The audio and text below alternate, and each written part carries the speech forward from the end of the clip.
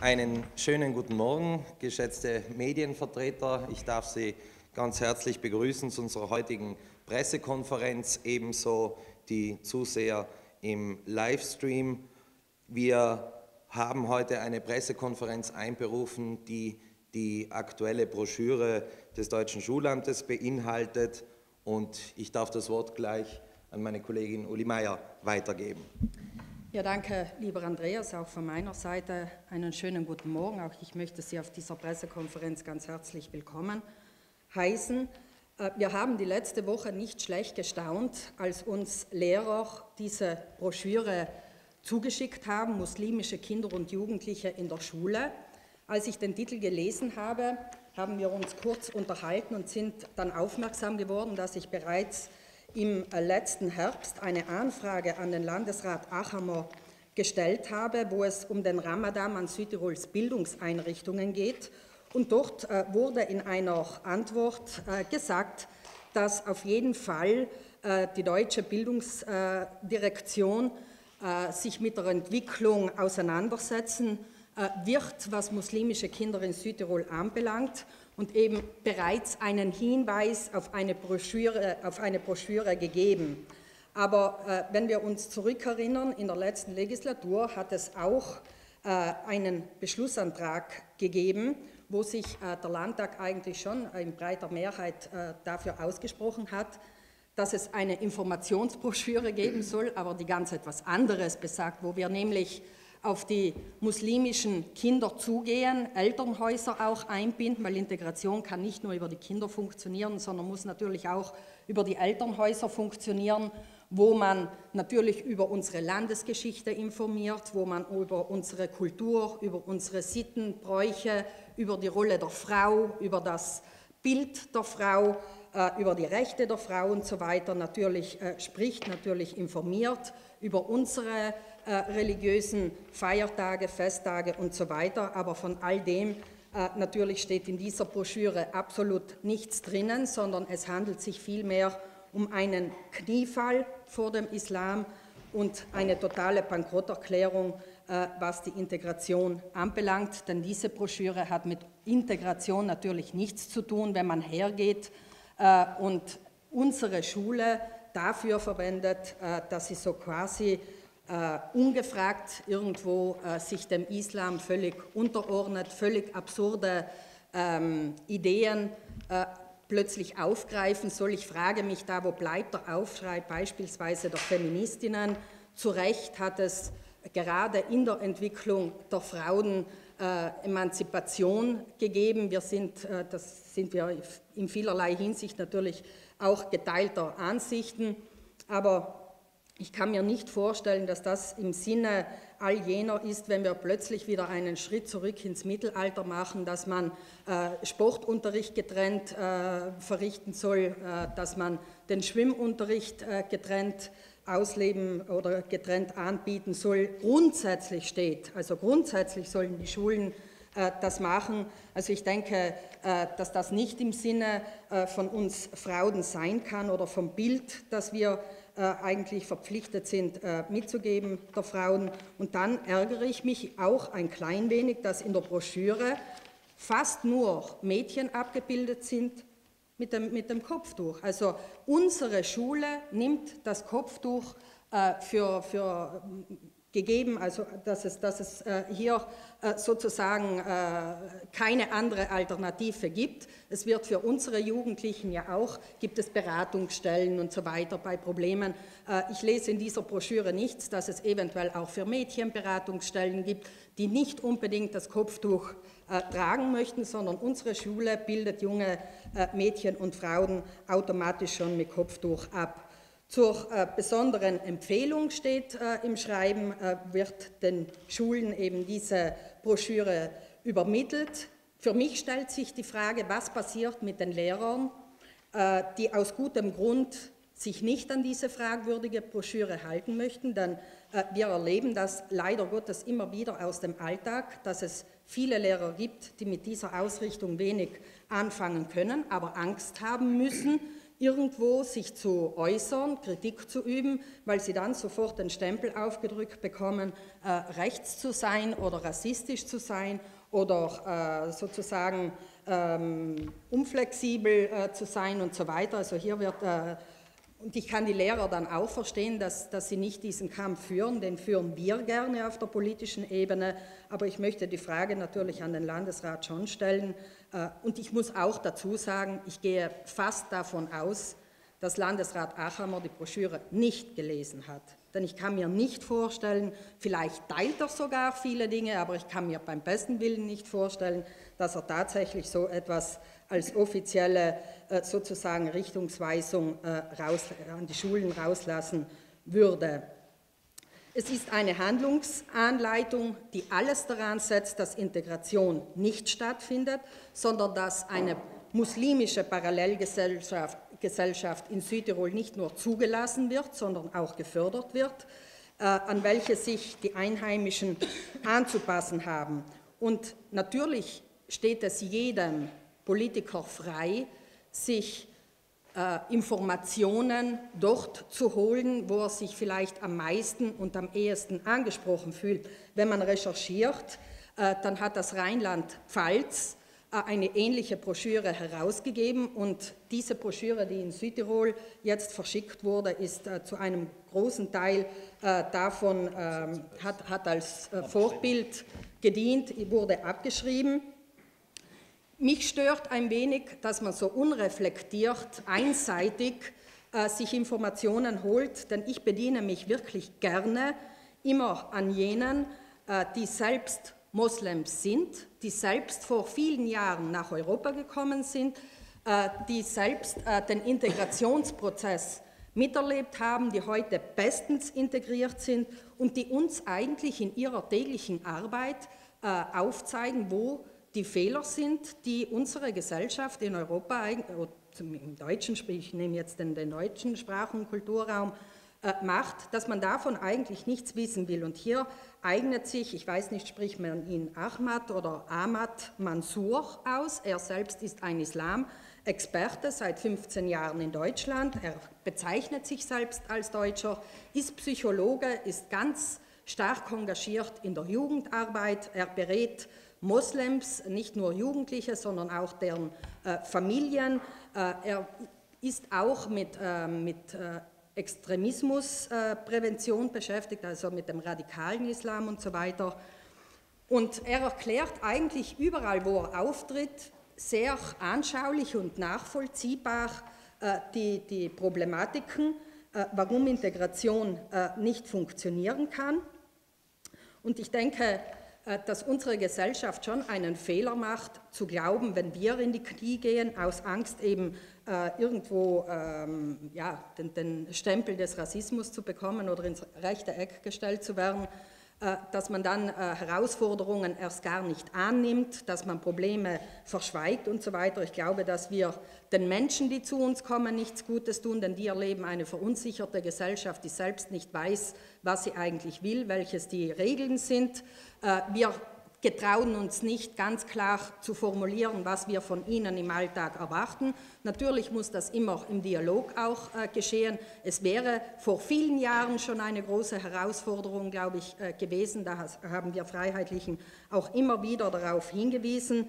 Aber dass man nicht in die Knie geht, sondern ganz klar auf diese Menschen zugeht. Man möchte ja, dass sie Teil unserer Gesellschaft werden und abholen können, kann man sie nur dann, wenn man selbstsicher ist in der Ausformulierung der Erwartungen, dass bei uns eben Gesetze gelten, die für alle bindend sind, dass man ganz klar davon spricht, äh, wie unsere Kultur ist, wie die Rolle der Frau ist, dass äh, sich Frauen bei uns auch trennen können, dass dieses frauenverachtende Bild, das zum Großteil äh, leider Gottes diese Männer teilweise mitbringen, die kommen aus patriarchalen Strukturen, wo die Frau so gut wie keine Rechte hat, auch über, ihre, über ihr eigenes Leben kaum eigene Rechte hat, also alles kontrolliert und bestimmt der Mann, der sich ja auch, glaube ich, darüber identifiziert, die Männlichkeit darüber identifiziert, dass so viel wie möglich Macht und Kontrolle über die Frau ausgeübt wird. Und jetzt geht unsere Schule her und fördert das irgendwo noch. Und ich denke, dass man das natürlich auf keinen Fall äh, akzeptieren kann. Es ist heute zwar der 1. April, es ist leider kein Scherz. Äh, diese Broschüre macht fassungslos, aber nicht sprachlos. Und ich denke, was einmal ganz klar auf den Punkt gebracht werden muss, ist, die Integration ist eine Bringschuld und kein Kompromiss. Über den Kompromiss kann man eventuell später nach dem Dialog, nach äh, sämtlichen Maßnahmen äh, sprechen, aber zunächst einmal eine Bringschuld und das hat auch nichts mit Fordern und Fördern zu tun, von dem Achammer immer gesprochen hat. Dass Schulen jetzt ins Mittelalter zurückkehren sollen, getrennter Sportunterricht, Schwimmunterricht, äh, also ich glaube nicht, äh, dass das irgendetwas äh, mit dem modernen Sportunterricht zu tun hat, den wir uns alle an den Schulen wünschen. Auch nicht das offene Verhältnis der Geschlechterfrage, also das kommt hier überhaupt nicht zum Ausdruck. Es muss die provokante Frage erlaubt sein, ob es denn künftig Schwimmunterricht für mehr als 50, 50 verschiedene Geschlechter gibt, denn es wird ja von vielen Seiten immer wieder davon gesprochen, äh, Genderfantasien und so weiter, oder obliegt es dem deutschen Schulamt künftig auch das Geschlecht der Schüler zu kontrollieren, äh, dass weiters äh, empfohlen wird, äh, Klassenfachten nur mehr in Begleitung äh, zu machen, wo auch äh, muslimisches Personal sozusagen teilnimmt. Also auch das ist für uns nicht akzeptabel, denn es geht hier wirklich darum, unserer Auffassung nach, den interkulturellen Mediatoren äh, ein lukratives Zusatzeinkommen zu bescheren, damit Integration nicht funktioniert. Denn äh, die hätten, glaube ich, eigentlich eine andere Aufgabe. Äh, dass der Ramadan an den Schulen plötzlich eine Rolle spielen soll, das hat absolut, das muss man unserer Gesellschaft, unseren Leuten erklären, warum jetzt der Schulkalender äh, auf, auf, den Islam ausgerichtet werden soll, der Ramadan eine Rolle spielen soll, äh, dass Schulausflüge nicht mehr im Fastenmonat Ramadan stattfinden sollen. Auch sonst soll äh, Rücksicht genommen werden, dass Schüler nicht geprüft werden und so weiter. Der Sexualunterricht darf, darf zwar weiterhin stattfinden, soll aber mit den religiösen und weltanschaulichen Überzeugungen der Eltern abgestimmt sein. Also ich frage mich hier, mit welchen, äh, welche Weltanschauung äh, wird äh, Sexualunterricht in muslimischen Ländern äh, unterrichtet? Wenn ja, wie? Äh, ich möchte äh, das auch ganz gerne wissen. Für mich ist das ein absolutes Einknicken ähm, ja, vor dem Islam aber auch irgendwo, ich stelle mir hier schon die Frage, was sich effektiv die Leute im Schulamt dabei denken, wenn sie so etwas äh, produzieren. Empfehlungen äh, von Seiten des Schulamtes gibt es nicht etwa, dass Einwandererkinder die Kultur äh, unserer Gesellschaft hier lernen sollen, dass sie sich mit den lokalen und regionalen Traditionen befassen sollen und damit vielleicht wirklich erst auch verstehen lernen, in welchem Kulturkreis sie aufgenommen wurden, sondern stattdessen wird äh, den Muslimen empfohlen, ihre Kinder an muslimischen Festen gar nicht erst in die Schule zu schicken und darüber hinaus wird den Schulen ans Herz gelegt, äh, den Schulkalender doch bitte dementsprechend auch äh, einzurichten. Auch das für uns ein Unsinn, äh, den man natürlich nicht mittragen kann. Ich habe schon gesagt, der legitimierte Zwang zum Kopftuch. Es wird nicht darauf hingewiesen, wie beispielsweise in Österreich, dass gerade junge Mädchen kein Kopftuch tragen dürfen in den, in den Kindergärten und Schulen. Es wird auch nicht irgendwo auf eine Beratung hingewiesen, dass für pubertierende Mädchen äh, die vielleicht äh, das nicht wollen, dafür verfolgt werden und so weiter. Es wird auch äh, davon nicht gesprochen. Stattdessen hat sich das Schulamt, wie die Broschüre zeigt, voll und ganz zum Kopftuch bekannt und verliert auch kein Wort über den unfreiwilligen Zwang. Und wir Freiheitlichen haben natürlich eine Anfrage gestellt, weil für uns schon auch interessant ist zu wissen, nachdem es so etwas ja vorher unter linken Regierungsbeteiligungen nie gegeben hat. Gilt diese Broschüre dann auch für die italienische Schule? Weiß der Regierungspartner Lega von dieser Broschüre? Wie steht die Lega zu diesem äh, Thema?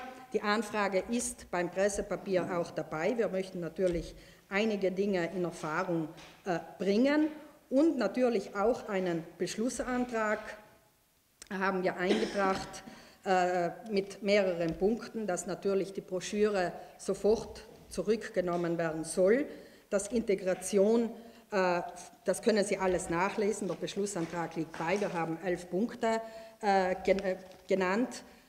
Wir möchten einen, dass, dass endlich, wir haben den Landesrat des Öfteren schon aufgefordert, auch einmal ein Integrationsgipfel auf Landesebene äh, abgehalten wird, die sich mit den verbindlichen Werten und auch Zielsetzungen befasst, die wir Südtiroler als Gesellschaft von den Zuwanderern erwarten, so wie sie auch wirklich äh, integrierte Moslems äh, fordern, äh, uns auch den Rat geben, äh, das zu machen.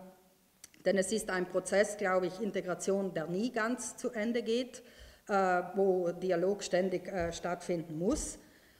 Natürlich der sofortige Rückzug dieser Broschüre und ähm, ich glaube schon, dass mit diesem Thema natürlich, dass es jetzt schon einen Aufschrei oder, oder eine Diskussion auf Landesebene geben wird, denn geben muss. geben muss. Ich kann mir nicht vorstellen, dass die Südtiroler Volkspartei davon in Kenntnis war. Denn äh, wenn man sich zurückerinnert, vor ein paar Tagen hat uns der ehemalige Handwerker und Neogenosse Gerd Lanz versucht, über die Öffentlichkeit auszurichten, was Integration, wie Integration funktioniert, wollte uns eine Lehrstunde in Sachen Integration erteilen. Äh, also ich muss sagen, lieber Kollege Lanz, wir verstehen Integration mit Sicherheit nicht so. Äh, Integration bedeutet für uns die Bringschuld, Integration bedeutet für uns, dass sich Menschen, die hierher kommen, mit unserer Alltagssituation, Geschichte, Bräuche, Sitten und so weiter auseinandersetzen und nicht umgekehrt. Für uns ist Integration nicht das Zelebrieren von Unterschieden, sondern die Festlegung von Regeln im Rahmen der Gesetze bindend für alle. Wir als Land und Gesellschaft müssen und vor allem auch als Politik selbstbewusst auftreten, denn nur so, glaube ich, können wir Menschen effektiv für uns gewinnen und lassen langfristig gesehen keine Parallelgesellschaft zu. Hier müssten wir eigentlich allmählich imstande sein, von den Fehlern äh, der anderen zu lernen und wirklich einmal andere Schritte zu setzen. Äh, die Freiheitlichen haben sehr viele Vorschläge immer wieder gemacht, Integrationskurse, verpflichtende, verpflichtende Elternkurse und, und, und. Ich möchte jetzt das Wort an unseren Obmann Andreas Leiter-Reber weitergeben. Danke, Uli. Sie haben gesehen oder einen Überblick davon erhalten, was in dieser Broschüre enthalten ist und wie horrend hier, welche horrende Positionen dort vertreten werden. Ich habe mir erlaubt, ein paar Statements, Aussagen herauszusuchen, die die Volkspartei im vergangenen Wahlkampf getätigt hat. Und zwar war es ja wirklich so, dass auf einmal die Einwanderungspolitik der Volkspartei im Wahlkampf sozusagen angezogen wurde, wo wir auch das begrüßt haben, dass Integration fordern durch Fördern und so weiter ähm, dargestellt wird. Und ich habe hier ein paar Aussagen, zum Beispiel vom 26. Juni 2017, wo die Volkspartei die zehn Punkte Flüchtling, zur Flüchtlingspolitik vorgestellt haben, wo es in ihrer Aussendung hieß, Integrationsbereitschaft ist einzufordern, um Integration zu fördern. Die Beachtung der Grundwerte des Landes und Europas wird verlangt. Dann die junge Generation, dann kurz vor den Wahlen am 11. September, die dann noch deutlicher wird, sei es Alex Fischer als auch Jasmin Ladurner, die sagen, die Leistungen müssen an die Grundkenntnisse der Landessprache und an Kenntnisse über die, über die hiesige Kultur und Gesellschaft geknüpft werden. Und es müssen da auch entsprechende Maßnahmen getroffen werden. Integrationsbereitschaft von allen Seiten sind aus Sicht der JG unumgänglich. Wer hier seinen Lebensmittelpunkt hat, in den Genuss von Leistungen kommt, muss Bereitschaft und Wille zur Integration an den Tag legen, so die JG-Kandidatin Jasmin Ladurner damals, vor wenigen Monaten im letzten Jahr, kurz vor den Wahlen. Wenn man sich jetzt diese Broschüre ansieht, dann ist das genau das Gegenteil von dem, das die Volkspartei im Wahlkampf noch gefordert hat und das Gegenteil von dem, wie wir Freiheitliche uns Integrationspolitik vorstellen. Es braucht den Bereitschaftswillen zur Eingliederung, es braucht Integrationswillen um hier in unserer Gesellschaft Platz zu finden, um Teil unserer Gesellschaft zu werden, um gemeinsam Integration möglich zu machen. Mit diesen Maßnahmen, und ich möchte es wirklich nochmal zitieren, weil es einfach äh, der Hammer ist, wenn man das wörtlich hört, Gute Erfahrungen sind gemacht worden, so steht es in der Broschüre, wenn eine Begleitperson mit muslimischem Hintergrund mitfährt bei Lehrausflügen, da sie mit Sprache und Kultur vertraut ist und dies für die Eltern, für die muslimischen vertrauensbildend wirkt. Die Planung dieser Lehrausflüge, ähm, bei der Planung soll die Schule darauf achten, dass unterrichtsbegleitende Veranstaltungen, also Sportfeste und so weiter, nicht während des Fastenmonats Ramadan oder anderer religiöser Feiertage stattfinden. Dann der Schwimmunterricht, der schon genügend erläutert wurde, der getrennt eben, der getrennt nach, äh, nach Geschlechtern stattfinden soll, also in unterschiedlichen Hallen.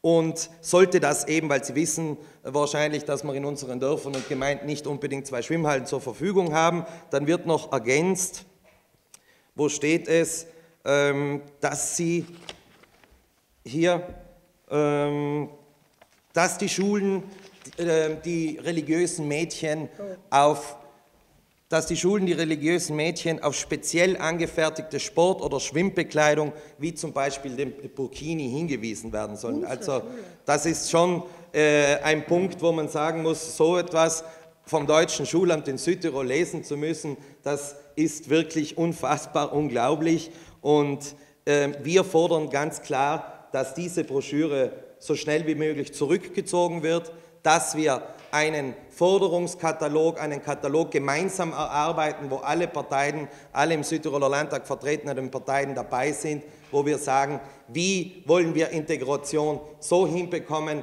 dass sie auch förderlich und in diesem, diesem Lande zugutekommt. Denn was hier empfohlen wird, ist genau das, wovor eigentlich zu warnen ist, dass Parallelgesellschaften entstehen, dass Kategorien verschiedener Menschen entstehen. Wir müssen hier schauen, dass wir Integration nach unseren Regeln, nach unseren Grundrechten, nach unseren Wertevorstellungen hinbekommen. Und das darf von jedem erwartet werden, der in unser Land kommt, der in diesem Land leben möchte. Seine religiösen Ansichten stehen da einfach hintan und müssen hintan stehen und dürfen nicht in das Schulleben und in das öffentliche Leben in unserem Land derart einwirken, dass es sich auch aufwirkt, auswirkt darauf, wie wir unsere Kinder, unsere Schüler und so weiter erziehen. Wie gesagt, diese Aussagen der äh, Volkspartei ähm, liegen dem Pressepapier bei, können dann auch mitgenommen werden und ich darf das Wort auch an unseren Bildungssprecher und Generalsekretär Otto Malknecht abschließend weitergeben. Danke. Herr Palm, ist das Mikrofon Entschuldige. Vor allem ist diese Sonderbehandlung von einer Gruppe, in dem Fall eben die Muslime, ist eigentlich überhaupt nicht nachvollziehbar, warum der äh, Achammer und äh, seine Bildungsdirektion diese Gruppe besonders behandeln wollen. Wir haben in Südtirol, glaube ich, aus fast jedem Staat, gibt es zumindest in Bozen oder auf jeden Fall in Südtirol, gibt es Menschen, die zu uns gekommen sind. Äh, die ganze Zuwanderergesellschaft in Südtirol ist sehr vielfältig und unterschiedlich. Es gibt da nicht nur Muslime, es gibt äh, aus unterschiedlichsten äh, Staaten, etwa zum Beispiel aus Bangladesch oder Indien oder China. Also es gibt wirklich äh, eine, eine Vielfalt von, von Zuwanderern und warum da jetzt die, äh, den Muslimen eine Sonderrolle äh, zuerkannt worden äh, werden soll, ist absolut nicht nachvollziehbar. Wir brauchen in Südtirol keine Parallelgesellschaften, sondern wir brauchen Integration und letztendlich auch Anpassung an, an das Gastland. Wenn man etwa das mit dem Ramadan äh, herausstreicht, in Südtirol gibt es keinen Ramadan. Es gibt auch kein Geburtstagsfest von Buddha. Es gibt auch kein chinesisches Drachenbootfest und wir feiern auch keine bengalischen Frühlingsfeiern. Bei allem Respekt vor den Kulturen und Staaten äh, der, der, Herkunftsländer, aber äh, wir leben den christlich-europäischen Jahreslauf.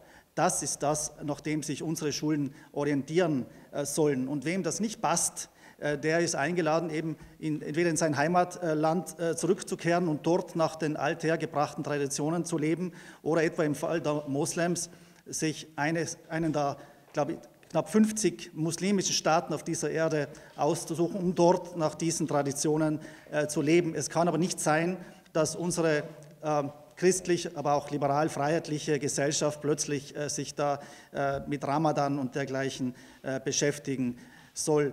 Diese, dieser Weg ist falsch und den lehnen wir ab. Was mich besonders stört, ist, dass wir jetzt wirklich seit ganz vielen Jahren über dieses Thema ja immer wieder diskutiert haben. Man kann natürlich auch kontrovers diskutieren, aber was uns nie gelungen ist, und das ist Schuld der Politik, nicht der Leute, die zu uns kommen, Schuld der Politik, wir haben es verabsäumt, äh, den Menschen hier irgendwo es wirklich schmackhaft zu machen, dass bei ihnen der Wunsch, ganz fester Wunsch äh, entsteht, Teil von dieser Gesellschaft zu werden. Wir haben das Gegenteil erzeugt. Die Menschen kommen her und wundern sich, dass nicht immer der rote Teppich ausgerollt ist, dass sie mit einer äh, gewissen Arroganz und Präpotenz teilweise im Alltag auch auftreten, die sie vielleicht nicht unbedingt so leben, weil sie so sind, sondern weil wir sie irgendwo so erzogen haben.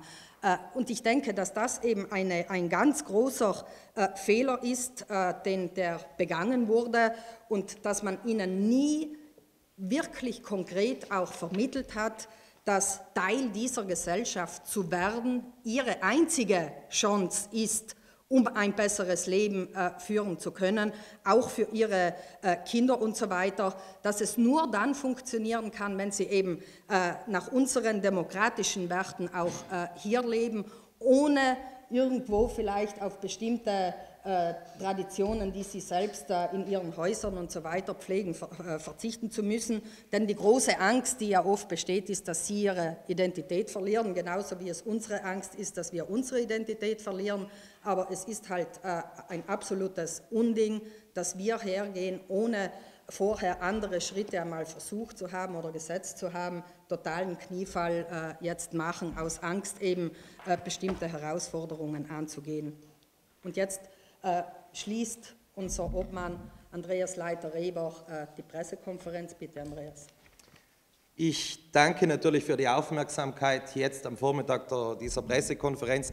Aber ich bin mir sicher, dass dieses Thema uns nicht nur heute, sondern auch in den nächsten Tagen, Wochen, Monaten und auch Jahren begleiten wird. Denn wenn wir es hier nicht auf die Reihe kriegen, in so einem sensiblen Gebiet wie Südtirol, wo drei Volksgruppen zusammenleben, und wir haben Jahrzehnte dafür gebraucht, dass wir heute dieses Zusammenleben hinbekommen haben, und da ist auch noch an der einen oder anderen Ecke zu schrauben, dass wir hier auch klar die Botschaft an alle künftigen und neuen Mitbürger geben, dass wir sagen, liebe Leute, wenn ihr in unserem Land Asyl bekommt, dann ist einfach unser gewachsenes Gesellschaftsbild, unsere Rechtsvorstellung, die steht im Vordergrund. Und wer in dieser Gesellschaft sich integrieren möchte, muss integrationsbereit sein. Und von uns muss eben auch diese klare Botschaft ankommen, dass wir einladen, in, sich in dieser Gesellschaft zurechtzufinden. Da strecken wir die Hand aus, aber wir gehen mit dieser Broschüre und mit dieser Vorstellung der Volkspartei genau den umgekehrten Weg, dass wir schon vorher zu uns zurückziehen und sagen, behaltet ihr eure Traditionen, kapselt euch ab mit Burkini, mit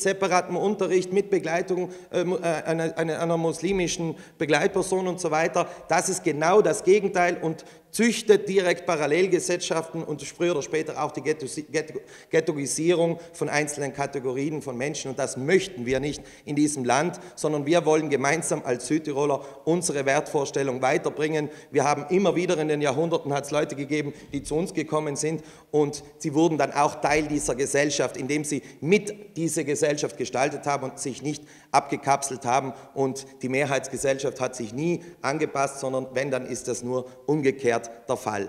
Das Gleiche erwarte ich mir auch, wenn ich in ein anderes Land gehen oder ziehen würde, dass ich dann nicht sozusagen das Herz Jesu Feuer drauf äh, anzünden würde und mich dort äh, dann auch noch von der Schule erwarten, von der öffentlichen, dass sie hier Rücksicht auf mich nimmt. In diesem Sinne schließen wir die heutige Pressekonferenz ab. Wir sind alle noch für Interviews zur Verfügung. Dankeschön.